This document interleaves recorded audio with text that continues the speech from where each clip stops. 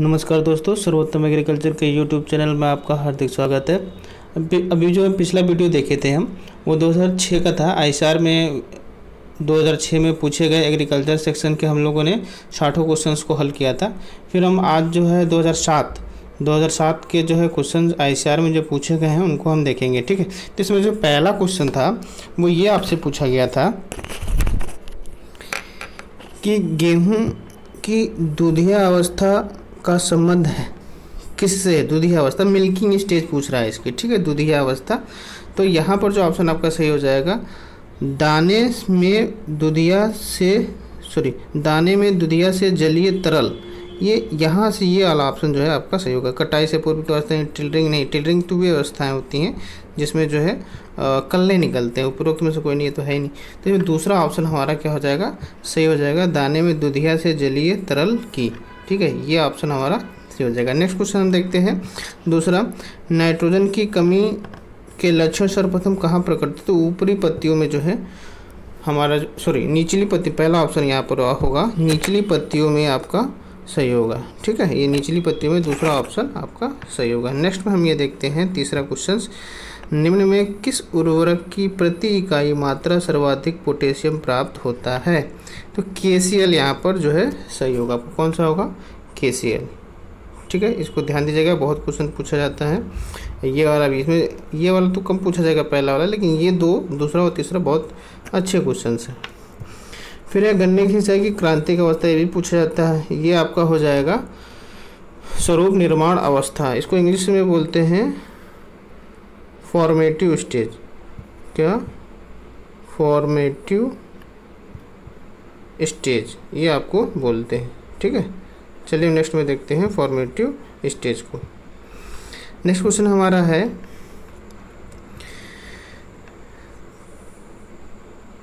एक हेक्टेयर धान की फ़सल की रुपाई कितने क्षेत्र नर्सरी की आवश्यकता पड़ती है? एक हेक्टेयर धान है उसमें कितना नर्स आ, कितने एरिया में हम नर्सरी लगाएँ कि एक हेक्टेयर धान की रुपाई हो जाए? तो यहाँ पर 700 आता है लेकिन यहाँ पर जो हम ऑप्शन सही करेंगे यहाँ पर 0.05 हेक्टेयर। टेन जो है हमारा ज़्यादा होता है कहीं कहीं टेन में मिलता है लेकिन यहाँ पर जो है इसको हम सही करेंगे ठीक है? ज़ीरो हेक्टेयर को। इतना अगर इतने दूरी में अगर हम जो है नर्सरी लगाते हैं तो हम एक हेक्टेयर खेत की रोपाई कर सकते हैं। ठीक है? निम्न में से किस उर्वरक में सर्वाधिक नाइट्रोजन मिलता है? किस उर्वरक में सर्वाधिक नाइट्रोजन मिलता है? ये आपका क्वेश्चन है, ठीक है? तो यहाँ पर यूरिया में जो है, मिलता है, ये हम जानते हैं, फोर्टी सिक्स परसेंट क्या होता है? सिर्फ़ हमारा नाइट्रोजन ही होता है। यूरिया पूछा जाता है, यूरिया में नाइट्रोजन कितने परसेंट पाया जाता है? तो फोर्टी सिक्स परसेंट। आगे देखते हैं। निम्न में कौन सी गाय दोहरे यहाँ पे द्विकाजी की नस्ल है। ये हिंदियों का खेल है। क्वेश्चन लिखे हैं। द्विकाजी नस्ल आपसे पूछी गई थी। द्विकाजी कौन सी है? थार पारकर जो है आपकी कैसी नस्ल है? द्विकाजी नस्ल है। ठीक है? भैंस का गर्भकाल होता है। भैंस का गर्भकाल कितने दिन का होता है? तीन सौ दस दिन का होता है। इसको ध्यान दीजिएगा। तीन सौ दस दिन का होता है। ठीक है? आगे हम देखते हैं। इसको देखिएगा क्वेश्चंस गर्मी में आई गाय के गर्भाधान की इष्टतम समय। जैसे कि जब हीट हीट पीरियड में रहती है गाय तो कब हम जो है सीमेन सीमेन इंजेक्ट करें जिससे कि हमारा जो है गर्भाधान हो, वो अच्छा हो या जो है सफल हो जाए। तो ये मध्य का जो समय होता है गर्मी की मध्य की अवस्था, गर्मी की मध्य की अवस्था, ये हमारा सही समय माना जाता है। नेक्स्ट में हम ये देखते हैं। गाय की सूक्ष्म अवस्था साधारणतः कितने दिनों की होती है? गाय की सूक्ष्म अवस्था की साधारणतः कितने दिनों की होती है? तो ये साठ से ये वाला ऑप्शन आपका जो है, यहाँ पर सही रहेगा, साठ से पचहत्तर दिन का। ठीक है? ध्यान से देखिएगा। कोलेस्ट्रम है। कोलेस्ट्रम शब्द कई बार प्रयोग होगा, ये भी याद रखिएगा बहुत अच्छा ऊपर वाला जो गर्मी वाला, ये बहुत पूछा जाता है। कोलेस्ट्रम। कोलेस्ट्रम क्या है? कोलेस्ट्रम जो है आपका, बछड़ा जमने के पश्चात गाय के थनों से निकलना मतलब जो पहला दूध निकलता है एक दो दिन तक, उसको बोलते हैं कोलेस्ट्रम, ठीक है? खीस भी हिंदी में बोलते हैं, ठीक है? एक क्वेश्चन है आपका। ये मैंने कराया है कई बार आगे भी आएगा। इस क्वेश्चन को आप लोग बताएँगे, है ना? स्प्रिंकलर है ना? इस स्प्रिंकलर स्प्रिंकलर या कह देते हैं बौछारी। हिंदी में बौछारी, ध्यान दीजिएगा, बौछारी, ठीक है? बौछारी स्प्रिंकलर सिंचाई प्रणाली किसके लिए सर्वाधिक प्रयुक्त होती है? ये आप लोग कमेंट बॉक्स में कमेंट करके बताएँगे हमें, ठीक है? इसको जो है कमेंट करके बताइए। कई बार कराया जाएगा अगर नहीं है बहुत आगे अभी कई बार कराया गया है। ठीक है? अच्छा एक हम आप लोग से बताना चाहते हैं कि जो भी विद्यार्थी जो है सर्वोत्तम एग्रीकल्चर एकेडमी का जो है टेस्ट सीरीज़ नहीं ज्वाइन किए हैं, वो टेस्ट सीरीज़ जो है ज़रूर ज्वाइन कर लें। टेस्ट सीरीज़ जो है वो क्या करें? वो ज़रूर ज्वाइन कर लें। टेस्ट सीरीज़ में दो तरीके की टेस्ट सीरीज़ है क्रैश बैच के लिए और जो है एनुअल बैच क्रैश बैच में तीस टेस्ट प्लस पीडीएफ मिलेगा आपको। एनुअल बैच के लिए दस टेस्ट प्लस पीडीएफ मिलेगा। ये क्रैश बैच का होगा। जो भी लेक्चर पढ़ रहे जो भी वीडियो लेक्चर पढ़ रहे हैं, आप जानते हैं, इस चैनल पर जो है डेली जो है दो से चार, ज़्यादातर दो तीन दो तीन पढ़ते हैं वीडियो दो से चार डेली लेक्चर पढ़ते हैं एक हफ़्ते में। तो एक हफ़्ते में जो भी पेपर जो भी लेक्चर पढ़ते, उन्हीं के आधार पर टेस्ट होता है। और जो एनुअल बैच का टेस्ट है वो फुल सिलेबस का टेस्ट है। वो भी आप लोग को मिलेगा आपको बाद में पेपर से पहले वो सारा कराया जाएगा, ठीक है? तो जो बच्चे जो है तैयारी कर रहे हैं, जो बच्चे हमारे देख रहे हैं, टेस्ट सीरीज़, उनको ज़रूर ज्वाइन करना चाहिए चूँकि या आप घर पर पढ़ रहे हैं, उनको टेस्ट पेपर वो ज़रूर ज्वाइन करें। अगर वो उचित सफलता के लिए वो टेस्ट पेपर ज्वाइन करना ही चाहिए और करना ही पड़ेगा लास्ट में। किसी भी कोचिंग में चाहे जो भी पढ़ रहे हो, वहाँ टेस्ट कराया ही जाता है है ना? तो इसको जो है ज्वाइन करिए। मोबाइल पर घर बैठे आप आराम से कर सकते हैं। इससे अच्छी सुविधा आपको कहीं नहीं मिलेगी, ठीक है? चलिए हम नेक्स्ट क्वेश्चन पे देखते हैं। अच्छी कलिकाओं पर अल्पता के लक्षण किसके कारण होते हैं? ठीक है, अल्पता के लक्षण जो होते हैं ये बोरॉन की कारण होते हैं। ठीक है, इसको ध्यान दीजिएगा। विश्व का प्रथम शाकनाशी है two four D. Two four D, two four D कई बार क्वेश्चन का आया है टू फोर डी। ठीक है, टू फोर डी को ध्यान दीजिएगा। टू फोर डी जो है वो हमारे क्या है, चौड़ी पत्ती के लिए है। अगर इसका जो है बीस पीपीएम से कम यूज़ करते हैं तो ये हार्मोन के रूप में यूज़ होता है। इसको ध्यान दीजिएगा, ये चौड़ी पत्ती खरपतवार को मारने की दवा है। इसको ये बहुत पूछा है। टू फोर्टी आपसे हमेशा पूछा जाएगा, टू फोर्टी, ये दो बातें ध्यान रखिएगा। हार्मोन वाला अच्छा क्वेश्चन बनाएगा तो पूछेगा कि मतलब कौन सा शाकनाशी है जो हार्मोन के रूप में यूज़ होता है तो वो आपको बताना पड़ेगा। फिर आगे नेक्स्ट क्वेश्चन हम देखते हैं। वातावरण के तापमान को मापने के लिए प्रयुक्त स्क्रीन कहलाता है स्टिवेशन स्क्रीन, ठीक है? ये ध्यान दीजिएगा। फिर सोलह क्वेश्चन है, किस राज्य में, किस राज्य में आम की खेती? आम की खेती की बात है तो तो क्वेश्चन, किस राज्य में आम की खेती उत्पन्न होती है या होती है? ये पूछा गया है क्वेश्चन। तो यहाँ पर हमारा उत्तर उत्तर प्रदेश से ज़्यादा कहाँ होगी? कहीं नहीं होगी, ठीक है? इसको ध्यान दीजिएगा आप। फिर है, भारत में निम्न में से किस फल की फ़सल सर्वाधिक क्षेत्र में उगाई जाती है? है ना? कि मतलब क्षेत्रफल, एरिया पूछा गया। तो एरिया हमारा जो है, केले का क्या है? सर्वाधिक है। केले का एरिया भारत में सर्वाधिक क्षेत्रफल पर उगाया जाता है। फिर आपका क्वेश्चन है, अधिकांश दलहनी फ़सलों में नाइट्रोजन। देखो, नाइट्रोजन के लिए रेशियो जो होता है वो एक अनुपात, दो अनुपात, एक होता है। यही हम सीरियल्स क्रॉप जो आप खाद्यान्न फ़सलें कहते हैं, उनके लिए क्या अनुपात? चार अनुपात, दो अनुपात, एक। इसको ध्यान दीजिएगा, ये दलहनी के लिए सॉरी ये जो है खाद्यान्न के लिए होता है, एक अनुपात, दो अनुपात तो यहाँ पर ऐसे आता है, तीस, साठ, नब्बे, ये औसत होता है, ठीक है? तो यहाँ पर क्वेश्चन ये है नाइट्रोजन का जो हमारा पूछा गया है, आपसे ये पूछा गया है कि उनका अनुपात क्या होता है सामान्यता कितना हम देते हैं? तो यहाँ पर पहला ही ऑप्शन इसका सही होगा, पंद्रह से बीस। क्योंकि और सब जो है, क्योंकि हमने आप क्या बताया, तीस से बताया तो नियर बाई में यही है तो हम यही अपना लगाएँगे। क्योंकि जो भी दलहनी फ़सलें हैं, वो नाइट्रोजन का क्या करती हैं? स्थिरीकरण करती हैं, ठीक है? राजमा को छोड़कर।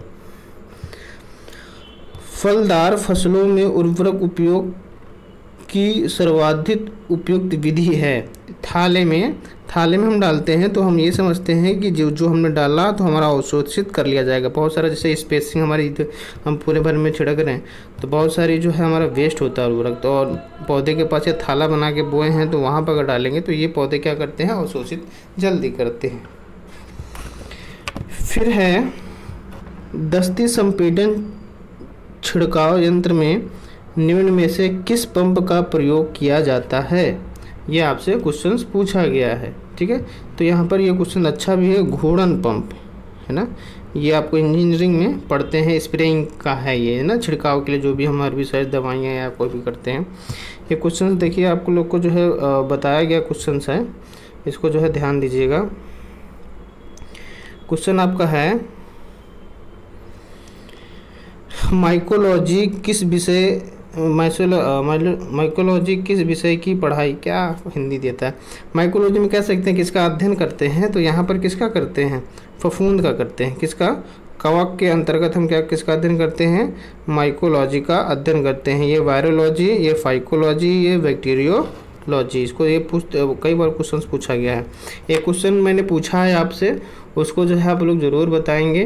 कौन सा क्वेश्चन था? स्प्रिंकलर स्प्रिंकलर जो मेथड होता है इरिगेशन का, सिंचाई का, वो कहाँ यूज़ होता है? ज़्यादातर कहाँ यूज़ होता है? बौछारी, हिंदी में बोलते हैं उसे बौछारी। उसको ध्यान दीजिएगा कमेंट बॉक्स करके कमेंट बॉक्स में इसको जो है बताइए, है ना? तो हमको मिलेगा कि आप लोग हमसे जुड़े हैं, हम मेहनत कर रहे हैं। उसका कुछ रिस्पॉन्स तो मिलना चाहिए ना? चलिए, आगे हम देखते हैं। निम्न में से कौन सा खाद्य पदार्थ परीक्षक है। कौन सा खाद्य पदार्थ परीक्षक है?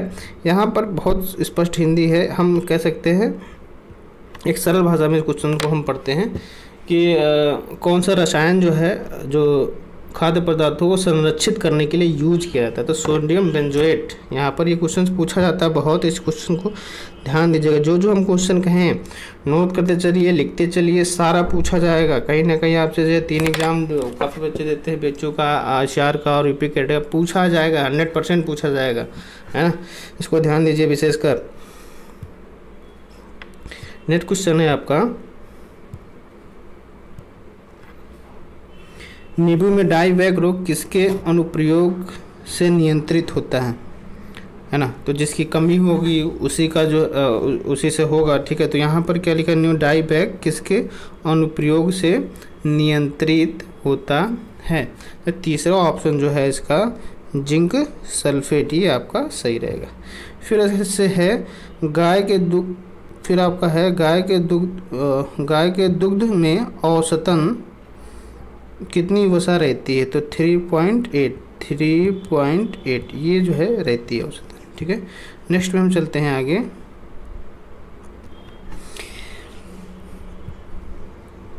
हाँ आगे चलते हैं नेक्स्ट में। धान की गहाई यंत्र में गहाई ड्रम का प्रकार।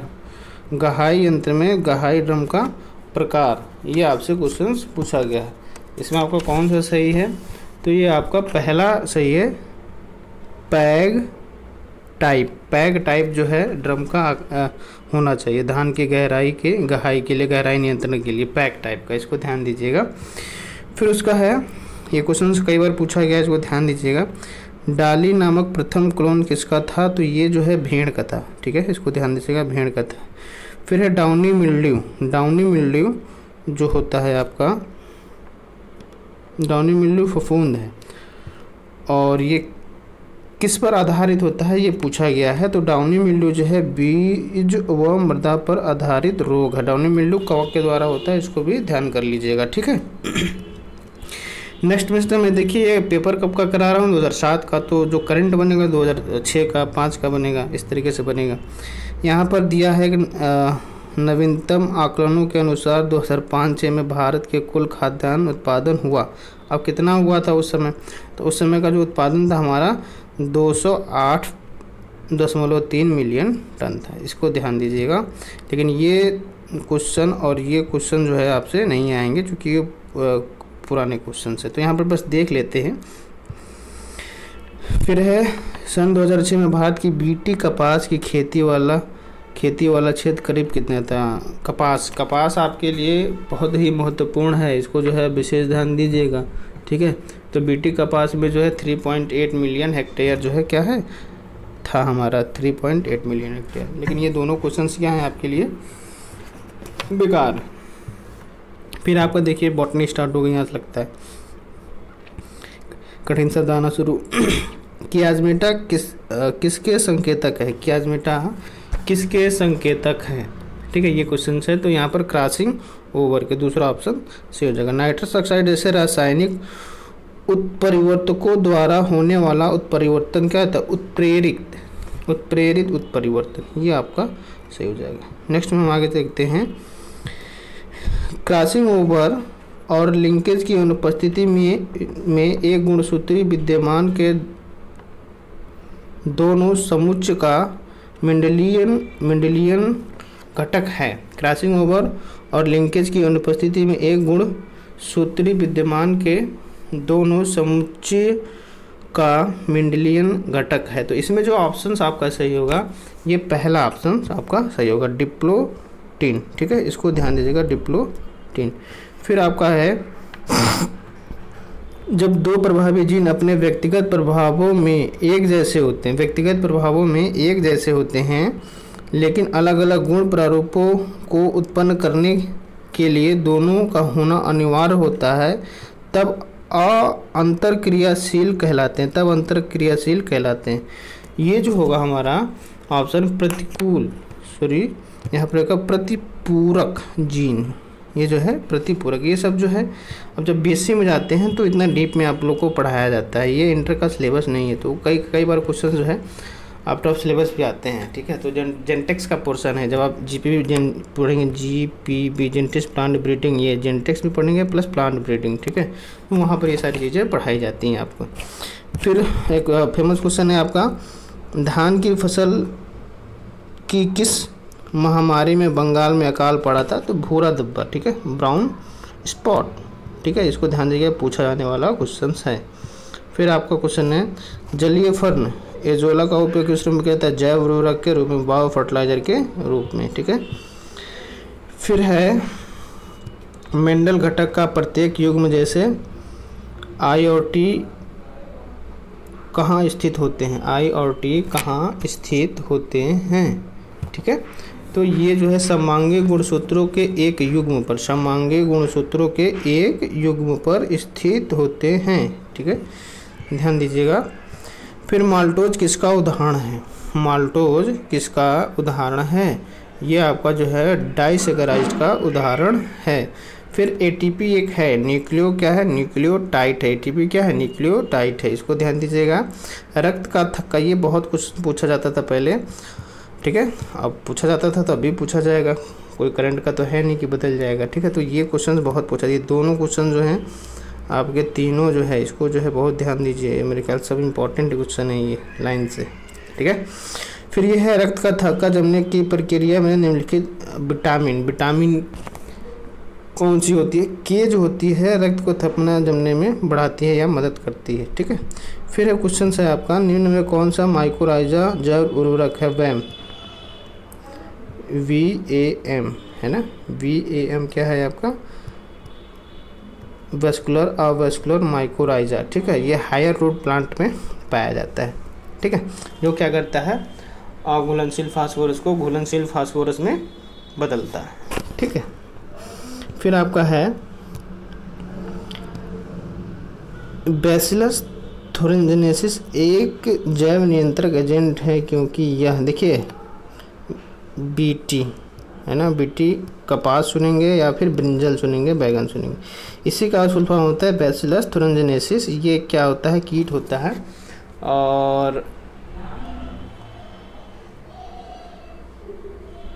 सॉरी, ये एक एजेंट एजेंट होता है। इसको जो है बनाया जाता है इसलिए ये कीट बनाया जाता है जिससे कि हमारा जो कीट अट्रैक्ट होता है, उसके मिड गट में जाके क्या करता है? फट जाता है। तो इसमें जो ऑप्शन सही होगा आपका ये दूसरा सही होगा ये ऐसे विष उत्पन्न करता है जो कीटों के मध्य आहार नाल में आयनन गति आयनन गति को प्रभावित करता है। आयनन गति को क्या करते हैं? प्रभावित करते हैं। ठीक है? तो बेसलन थोरेंजेंसिस क्या है? एक एजेंट है जो इसको जो है हम एक सरल भाषा में आपको समझा दें। देखिए महाराष्ट्र में कपास में जो कपास के खेत में जो है बहुत सारे कीट लगते थे। तो वहाँ पर जो है बायोटेक्नोलॉजी के माध्यम से इस जो प्रोटीन को इंजेक्ट कराया गया किसमें? कपास में। जब इसको कीट आके खाता है तो कीट जैसे ही खाता है तो ऊपर लेयर में ये प्रोटीन होती है और जैसे ही ये कीट के मिड गट में जाती है, आहार नाल में जाती है, वहाँ पर जाकर फट जाती है, जिससे कीट मर जाता है। ठीक है तो बैसलथोनेसिस जो है, एक बायो एजेंट है, जो कीट कीट के लिए जो है प्रयोग किया जाता है। ठीक है, कीट को मारने के लिए प्रयोग किया जाता है। नेक्स्ट में क्वेश्चन ये देखते हैं। कम ऑक्सीजन वाली मृदा में रहने वाले कुछ जीवाणु नाइट्रेट का नाइट्राइट में बदलते हैं तथा नाइट्रोजन मुक्त करते हैं ऐसे जीवाणु कहलाते हैं। देखिए यहाँ पर अगर नाइट्राइट से नाइट्रेट बनता है तो नाइट्रिफिकेशन कहलाता है है ना? नाइट नाइट्रिफिकेशन यहाँ पर जो है क्या हो रहा है? नाइट्रेट से नाइट्राइट तो यहाँ पर डी नाइट्रिफिकेशन होगा बी नाइट्रीकरण। ये ऑप्शन आपका सही होगा। केला बीज रहित है, है, क्योंकि यह है त्रिगुणित है। ये क्वेश्चन बहुत पूछा जाता है, इसको ध्यान रखिएगा, ये भी क्वेश्चन और ये भी क्वेश्चन ठीक है? इसको ध्यान दीजिएगा क्वेश्चन पूछे जाने वाले हैं। फिर आप देखिए, कपास का देश। एक संज्ञा है, बीज के बाह्य कवच की बाह्य वृद्धि, बीज की बाह्य कवच की बाह्य वृद्धि, ठीक है? ये है। नेक्स्ट क्वेश्चन में आप देखते हैं डीएनए रेप्लिकेशन के लिए वांछित मुख्य एंजाइम केवल, है ना? केवल डीएनए पॉलीमरेज तीसरा ऑप्शन आपका क्या हो जाएगा? सही हो जाएगा। ठीक? आगे चलते हैं। धान के खेत में मुख्यतः कौन सी गैस उत्पन्न होती है? मुख्यतः कौन सी गैस, धान के खेत में मुख्यतः कौन सी गैस उत्पन्न होती है? यहाँ पर सी एच फोर होना चाहिए। मेथेन जो होती है आपकी उत्पन्न होती है। ठीक है, इसको ध्यान दीजिएगा। ठीक मेथेन फिर आपका है, माइटोसिस के कारण किसी पौधे से प्राप्त संतति कहलाती है। माइटोसिस के कारण किसी पौधे से प्राप्त संतति कहलाती है। ये क्वेश्चन है। तो यहाँ पर जो आपका सही आंसर हो जाएगा, ये हो जाएगा शुद्ध वंशक्रम। शुद्ध वंशक्रम। ठीक है? नेक्स्ट क्वेश्चन देखते हैं, निम्न में से किस युग्मन से संयोग, संयुग्मजता उत्पन्न होती है? तो ये जो है स्वनिशेषण से होती है, ठीक है? संयुग्मन से सम संयुग्मता स्वयं, सीधे सीधे इसके जैसे ये तो ये स्वनिशेषण से उत्पन्न होगी, ठीक है? फिर एकल संकर, एक संकर पादप होता है, एक संकर पादप होता है, ये क्वेश्चन है आपका, इसमें ऑप्शन होगा। हेट्रोजाइगस। क्या होता है? हेट्रोजाइगस। ठीक है? इसमें पहला ऑप्शन सही होगा हेट्रोजाइगस। ठीक है? फिर आपका है अगुणित किसके माध्यम से प्राप्त होता है? अगुणित। अगुणित किसके माध्यम से प्राप्त होता है? पराकोष संवर्धन से। ठीक है? नेक्स्ट में चलते हैं। एक किस्म से आर्थिक विशेष नियंत्रक एकल अनुवांशिकी के दूसरे किस्म में हस्तांतरण के लिए सर्वाधिक उचित प्रजनन विधि। विधि कौन सी होती है? तो प्रतीप संकरण होती है। कौन सी विधि होती है? प्रतीप संकरण होती है। ठीक है? आगे चलते हैं इसमें। वातावरणीय दबाव के लिए क्या क्या प्रयोग होता है? बैरोमीटर का। ठीक है ना? इसमें एक क्वेश्चन है पशुओं में थनैला रोग किसके द्वारा होता है? तो थनैला जो रोग होता है ये कैल्शियम की अल्पता के कारण होता है, ये क्वेश्चन आपका है। ठीक, फिर उसके बाद से है कुकुर मतलब जो है जो हमारे पक्षी हैं कुकुट में रानी खेत रोग किसके द्वारा होता है? ठीक है ना? कुकुट में मुर्गियों में रानी खेत किसके द्वारा होता है? तो ये वायरस के द्वारा होता है। आलू का पत्ता संकुचन रोग का कारण, आलू के पत्ता संकुचन रोग का कारण है ये वायरस डिज़ीज़ है, ठीक है? वायरस से होता है। फिर नेक्स्ट क्वेश्चन है आपका। निम्न में कौन सा मनुष्य निर्मित अनाज है? मनुष्य निर्मित अनाज कौन सा है? ट्रिटिकेल है। और ट्रिटिकेल में मैंने आपको बताया था स्पेलिंग जो है इसकी बहुत ध्यान दीजिएगा। Wheat into R Y E ये वाला राई होता है, ठीक है? और आर ए आई वाला नहीं होता है, ठीक? इसको ध्यान दीजिएगा। नेक्स्ट में आगे क्वेश्चन है आपका। पौधों को नाइट्रोजन को कौन सा स्वरूप प्राप्त होता है? तो नाइट्रेट फॉर्म में ज़्यादातर क्या लेते हैं? पौधे लेते हैं। तो हमारा ये वाला क्वेश्चन जो है आपका सही हो जाएगा। फिर क्या है? फेलरिस माइनर किस फ़सल का खतरनाक खरपतवार है? ये क्वेश्चन दिया गया है। हानिकारक खरपतवार है तो गेहूँ का है, ठीक है ना? गेहूँ का मुख्य खरपतवार भी है फेलरिस माइनर, और इसका नियंत्रण किससे करते हैं? सल्फोसल्फ्यूरान और आइसोप्रोट्यूरान से क्या करते हैं? इसका रोकथाम करते हैं। फिर लास्ट क्वेश्चन है आपका, मक्के के संकर बीज उत्पादन में किस प्रकार का नर वंध्यता का प्रयोग होता है? ठीक है, ये क्वेश्चन है तो इसमें है साइटोप्लाज्मिक प्रकार का, ठीक है? ये आपका जो क्या हो जाएगा? साइटोप्लाज्मिक पहला ऑप्शन सही हो जाएगा। ठीक है, आज हमने जो है साठ क्वेश्चन देखे। अगर इसमें कोई कमी है तो कमेंट बॉक्स में करके बताएँ और हमने आपसे क्वेश्चंस पूछा है, उसको भी जो है कमेंट करके बताएँ। साथ में जुड़े रहने के लिए थैंक यू धन्यवाद।